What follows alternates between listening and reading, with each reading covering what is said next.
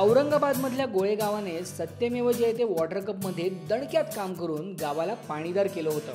पण फार्मर कपसाठी मात्र गोळे गावात काहीच हालचाल नव्हती. एकतीस मे शेवटची शेवटची तारीख होती.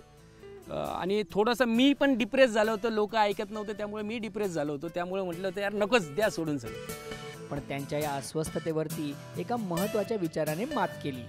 पण कुठंतरी वाटत होतं की गोळेगावचा विकासामध्ये स्त्रियांचा खूप मोठा वाटा आहे. पुरुषांपेक्षा जास्त वाटा आहे. एकत्रितरित्या सगळेजण येतात पण महिला सगळ्यात पुढं असतात. त्यामुळं कुठंतरी वाटत होतं की महिलांचा गट आपण बनवणं गरजेचं आहे. मग काय?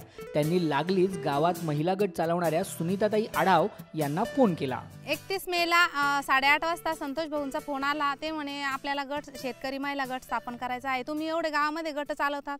मग हे करू शकणार नाही का तुम्ही? आणि अखेर गोळेगावमधल्या महिलांचा चित्रा नक्षत्र गट स्थापन झाला. पण एक अडचण होती.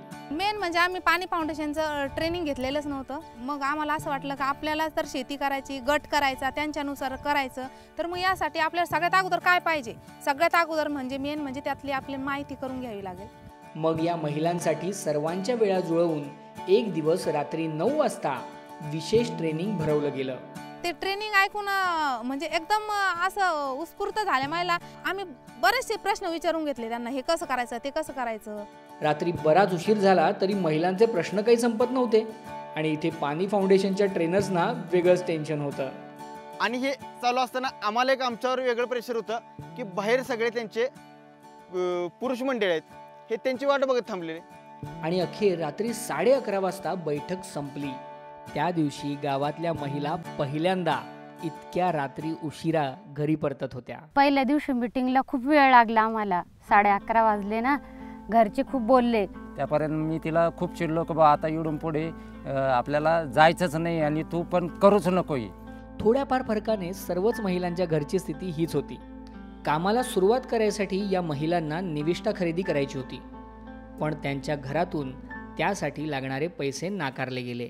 घरचे म्हणे नाही म्हणे आपल्याकडे पैसा नाही म्हणे खत आणायला बियाणं आणायला आपण उधारीवरती आणतो. मग आम्ही म्हटलं ठीक आहे नका देऊ तुम्ही पैसे आम्ही आमच्या पद्धतीने करतो. आम्ही त्यांना सांगितलं पण नाही. आम्ही पा आमच्या पद्धतीने काय करणार आहे म्हणून साहेब. आम्ही बचत गटातनं पैसे घेतले त्यांना न सांगता आणि इकडे जमा केले आणि खत बियाणं आम्ही घेऊन आलो. पन्नास रुपये त्या एका गुणी मागे ते पण कमी खर्च लागला आम्हाला. पुन्हा भाड्याची पण बचत झाली एकत्रित आणल्यामुळे. ज्यावेळेस आम्ही खताची गाडी गावामध्ये आणली त्यावेळेस त्यांच्या डोक्यामध्ये प्रकाश पडला.